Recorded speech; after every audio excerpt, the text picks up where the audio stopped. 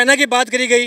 वहाँ पर क्या आपको लग रहा है कि राहुल गांधी जो बयानबाजी कर रहे हैं वाकई में वो अपनी जगह पे सही है? क्योंकि चुनाव आ रहे हैं। क्या चुनाव के हिसाब से तो नहीं कर रहे? वो ग्राउंड लेवल की बात कर रहा है। अच्छा। हवा की बात नहीं कर रहा है वो। लाजपत नगर से लेकर तिलक नगर जनरल सारे कांग्रेस के बनाए हुए हैं। इन्होंने जो पाकिस्तान से आदमी आए थे उनको ये फ्लैट दिया। बनाया है। पाकिस्तान भी कांग्रेस ने बनाया है। अफ़गानिस्तान भी कांग्रेस ने बनाया है। बांग्लादेश भी कांग्रेस ने बनाया है। बताओ किसने हिंदी चीनी भाई भाई के नारे खूब लगाए थे, गंवा दिया फिर तिब्बत सारा। अब ये भारत जोड़ेंगे। सरदारों का खून बहाया, कांग्रेस के इन गुंडों ने, और घायल है मेरा गुरुद्वारा। अब ये भारत जोड़ेंगे। मंदिर टूटी मंदिर टूटी, बनी मस्जिद।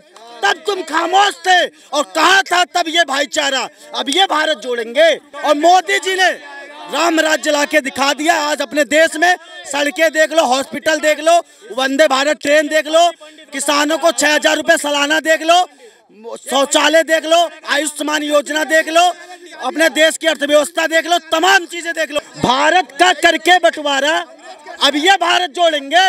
जिन्ना जीता, नेहरू हारा। अब ये भारत जोड़ेंगे। धारा 370 लाकर आग लगाई घाटी में और मोमिन ने पंडित को मारा। अब ये भारत जोड़ेंगे। हिंदी चीनी भाई भाई के नारे खूब लगाए थे। गंवा दिया फिर तिब्बत सारा। अब ये भारत जोड़ेंगे।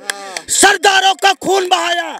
कांग्रेस के इन गुंडों ने और घायल है मेरा गुरुद्वारा। अब ये भारत जोड़ेंगे। मंदिर टूटी।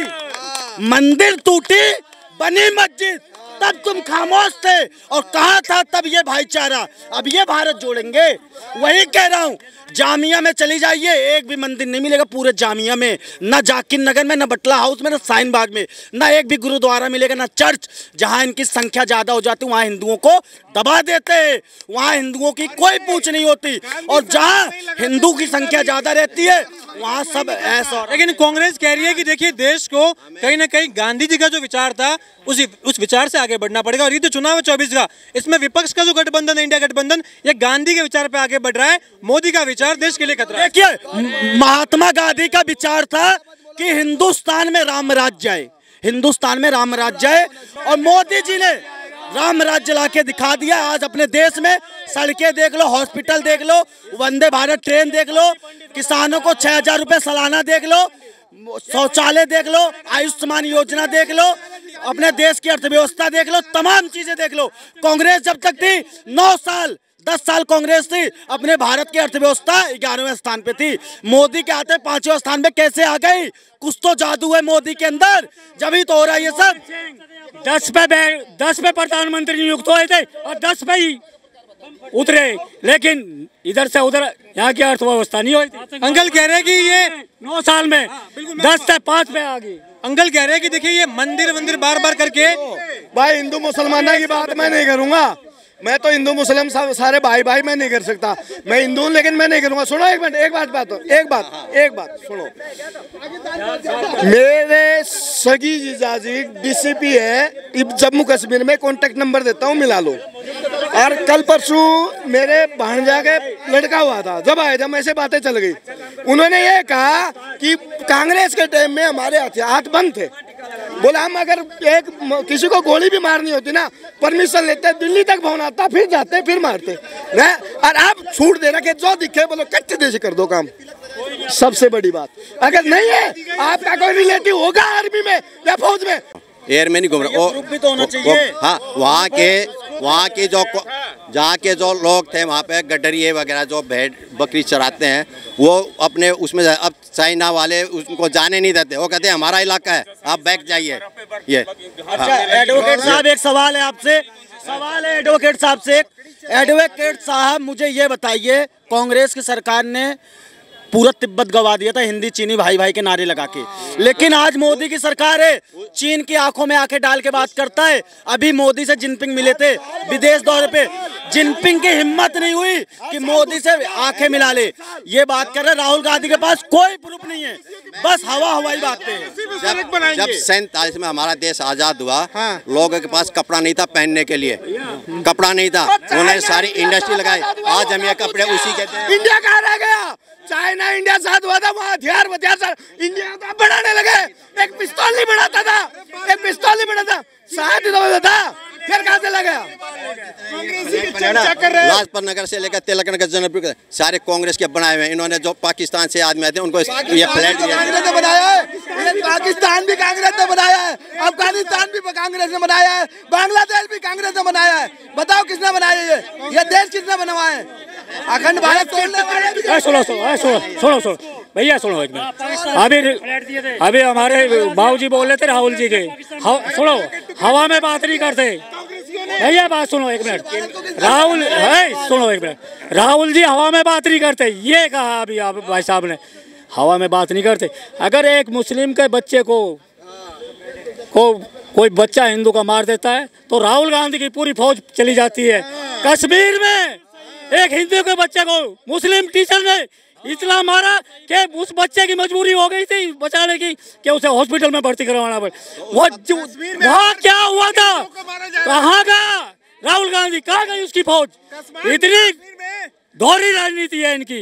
कश्मीर में आधार कार्ड इससे को मारा जाता इससे जनता अनुमान लगा सकती है ये कराना क्या चाहते हैं यहाँ? इनकी सोच देख लो कितनी गंदी सोच है। हिंदू मुस्लिम क्या? हिंदू मुस्लिम वो कर रहा है। वो एक मुस्लिम को है। की को है। धर्मशाला बना के रख दिया। है उस जाति के शेड्यूल ट्राइब पे ऐसी पे उस जाति के लोग जो है पेशाब करते हैं वो बैठा है उस पर पेशाब कर देते हैं। उसको उसको बाँध के पेड़ के बाँध के पिटाई करते हैं शेड्यूल कास्ट की दलित की पिटाई करते हैं। कांग्रेसी क्या कर रहे थे? बताइए ये पेशाब करने की बात करते हैं हैं? ये कांग्रेस के राज में नहीं हुआ था एक भी एक भी सैंपल ये बताओ कौन सा दलित को कांग्रेस के राज में खुशहाल था। ये बताओ उस कांग्रेस ने इन दलितों के लिए करा क्या। अगर यहाँ बाबा भीमराव अंबेडकर भवन बनाया तो वो मोदी जी ने बनाया। आज दलितों के भगवान का जिनको वे पूछते हैं और मानते हैं रविदास भगवान बोलते हैं उनका भव्य मंदिर बनने जा रहा है कौन बना रहे हैं? मोदी जी ने घोषणा की। बताओ कांग्रेस ने साठ साल में उनके लिए क्या क्या उनकी संस्कृति के लिए क्या क्या सुनिए एक मिनट। उनकी संस्कृति का सम्मान सम्मान क्या मेरा मैं एक सवाल पूछूँगा। मस्जिद से काम नहीं चलता। देखिए भारत का एक मिनट एक मिनट। एक मिनट एक मिनट एक मिनट। सुनिए सुन लीजिए। Sir four million sir 2024 Lok Sabha चुनाव बहुत नज़दीक है महज आठ महीने का समय शेष है। आज विपक्ष का गठबंधन अपनी मीटिंग कर रहा है कल भी मीटिंग होगी। कहा जा रहा है कि इस मीटिंग में अब ये तय होगा कि किसे कितनी सीटें मिलेगी और कहीं ना कहीं कौन हमारा चेहरा होगा जनता के बीच में हम किसे लेके जा रहे हैं। आपको क्या लगता है? आपका क्या नाम है? यशपाल। यशपाल जी, आप एक बात समझिए कि इंडिया का गठबंधन कोई सीट बंटवारा के लिए नहीं है, कोई हमारा निजी महत्वाकांक्षा नहीं है, कोई हमें प्रधानमंत्री नहीं बनना है, कोई संयोजक नहीं बनना है इंडिया का। आज आप समझिए कि इंडिया गठबंधन क्यों हुआ, आखिर क्या आफत आ पड़ी थी कि अलग अलग विचारधारा के लोग अलग अलग वैचारिक मतभेद रखने वाले लोग, आज एक प्लेटफॉर्म प्लेटफॉर्म पे, मैं उसका उदाहरण आपको बताता हूँ। जहाँ भी, जिस भी राज्य में आप उदाहरण ले लीजिए, चाहे आप गोवा ले लीजिए चाहे महाराष्ट्र ले लीजिए, चाहे आप कर्नाटका ले लीजिए चाहे आप झारखंड ले लीजिए चाहे आप दिल्ली ले लीजिए जहाँ जहाँ भी भारतीय जनता पार्टी को वहाँ की राज्य की जनता पूरी तरीके से नकार देती है, पूरी तरीके सत्ता विहीन कर देती है तो भारतीय जनता पार्टी अपने राज्यपाल के तहत, अपने उपराज्यपाल के तहत, अपने अफसरशाही के तहत काला अध्यादेश ला करके वहाँ के राज्य की जनता के संविधान की, वहाँ के अधिकारों का हनन करते हैं, पूरी तरीके से उनको मतलब पावर विहीन करते हैं। तो एक तो ये बात, दूसरी जो जो भी, आज ये लोकतंत्र है, मुझे अधिकार भारत का संविधान देता है, देश का संविधान देता है कि मुझे ये अधिकार है कि अपने सरकार से सवाल पूछने का। जिस आकांक्षाओं पे, जिस आशाओं पे मैंने आपको वोट किया था, मेरा अधिकार बनता है, मैं आपसे सवाल पूछूँ। लेकिन आज ये है कि जो भी सवाल पूछता है, जो उनसे प्रश्न पूछता है, उनको जेल में डाल दिया जाता है। अगर वही चीज़ ये मुद्दों पे बात नहीं करें। अगर वही भ्रष्टाचारी जिसको देश के प्रधानमंत्री, हमारे प्रधानमंत्री भी हैं, वो कहते हैं कि सबसे बड़ा घोटालेबाज है, सबसे बड़ा भ्रष्टाचारी है, उसी भ्रष्टाचारी को दो दिन बाद डिप्टी चीफ मिनिस्टर बना देते हैं। और जो ये कहते हैं कि इन्होंने इतना बड़ा भ्रष्टाचार किया, इस सहकारी डिपार्टमेंट में किया, उसी भ्रष्टाचारी को अपने पार्टी में ला करके उसी का मंत्री बना देते हैं। तो ये हास्यास्पद है। अगर ये अलायंस नहीं होता, अगर ये इंडिया का गठबंधन नहीं होता, मुझे नहीं लगता 2024 के बाद चुनाव होता। मुझे नहीं लगता कि भारत का संविधान बचता। मुझे नहीं लगता, लग रहा है कि भारत का संघीय ढांचा बनता, भारत का जनतंत्र बनता। एक डेमोक्रेसी के अंदर एक लोक, लोकतंत्र के अंदर जनता का अधिकार, हम लोग जनता के नौकर हैं। पाँच सालों के एक डेमोक्रेसी का बड़ा सीधा सा रूल है। एक हमारा कार्य प्रणाली है। हम पाँच साल के अंदर जाते हैं जनता के बीच में पाँच सालों में जी ये काम किया, हमें वोट दीजिए। जब वहाँ की जनता, भारतीय जनता पार्टी को नकार देती है, आप कालाध्यादेश ला करके वहाँ की जनता का अपमान करते हैं। किसी पार्टी का नहीं है। आप एक बात समझिए, वहाँ पे हो सकता है छब्बीस दलों गठबंधन है, छब्बीस दलों के लोग वहाँ पे नेता हों। लेकिन आज वो जो गठबंधन है, लगभग एक सौ पैंतीस से एक सौ चालीस करोड़ लोगों का गठबंधन है। कश्मीर से लेकर के कन्याकुमारी तक वहाँ प्रतिनिधित्व कर रहे हैं। पंजाब से लेकर के महाराष्ट्र तक वहाँ प्रतिनिधित्व कर रहे हैं। पश्चिम बंगाल से लेकर के तमिलनाडु तक के लोग वहाँ पे प्रतिनिधित्व कर रहे हैं तो सवाल ये है कि आज इंडिया की मांग है 140 करोड़ लोगों का मांग है। आज मैं आपसे सवाल पूछता हूँ कि आज क्या मुद्दा है? मैं भी मोदी मोदी कह सकता हूँ। क्या मोदी कहने से महँगाई दूर हो जाएगी क्या? क्या मोदी कहने से हमारे महिलाओं की सुरक्षा ठीक हो जाएगी क्या? क्या मोदी मोदी कहने से बेरोजगारी दूर हो जाएगी क्या? क्या गैस सिलेंडर के दाम चार सौ रुपये हो जाएँगे क्या? क्या दाल और तेल की कीमतें सौ रुपये के अंदर हो जाएगी क्या? ये मूलभूत समस्याएँ हैं। आपके घर में भी रोटी बनती होगी, भारतीय जनता पार्टी के जो भी मित्र हो सकता है वो समर्थक हों, लेकिन उनके घर में भी तो रोटी बन रही होगी, उनके बच्चे भी पढ़ाई कर होंगे आमदनी नहीं बढ़ रही है, लेकिन महँगाई दर पे दर पड़ रहे हैं। मैं बनारस से बिलोंग करता हूँ, वहाँ पे बनारस से हमारे भाई बहन आते हैं, यहाँ पे दस हज़ार की नौकरी करते हैं, पाँच हज़ार रुपये खाते हैं, पाँच हज़ार रुपये वहाँ भेजते हैं। लेकिन वहाँ पर पाँच हज़ार रुपये भेजने के बाद, वहाँ के लोगों के घर में रोटियाँ नहीं बन पाँच हज़ार में आज क्या हो रहा है? चार सौ रुपये टमाटर मिल रहा है, चार सौ रुपये दाल मिल रहा है, तीन सौ रुपये तेल मिल रहा है। ये कौन सा आप देश चलाना चाह रहे हैं? लेकिन बीजेपी कह रही है देखिए रक्षाबंधन का तोहफा दिया है बहनों को कि दो सौ रुपये हमने गैस सिलेंडर पे कम कर लिया टमाटर जो महँगाई थी वो हमने कम कर दी। कांग्रेस ये जो गठबंधन बना है इसमें कहीं ना कहीं अरविंद केजरीवाल भी ये बोल दिए हैं कि देखिए अगर कांग्रेस पार्टी और तमाम जो दल है अगर ये अपना दिल्ली सर्विस बिल पर स्टैंड क्लियर नहीं करते हैं तो हम कहीं ना कहीं इससे कट लेंगे। नहीं आप बात समझिए दिल्ली सर्विस बिल क्या? अरविंद केजरीवाल के कोई घर की खेती तो है नहीं? आज अरविंद केजरीवाल जी चीफ मिनिस्टर हैं दिल्ली के। कल हो सकता है प्राइम मिनिस्टर बन जाए, हो सकता है Bharatiya Janata party chief minister बन जाए। लेकिन अगर ये संविधान नहीं होता, जनता ने क्या मोदी जी 2014 में प्रधानमंत्री बनते क्या नहीं बनते ना तो अरविंद केजरीवाल जी किस चीज़ की लड़ाई लड़ें?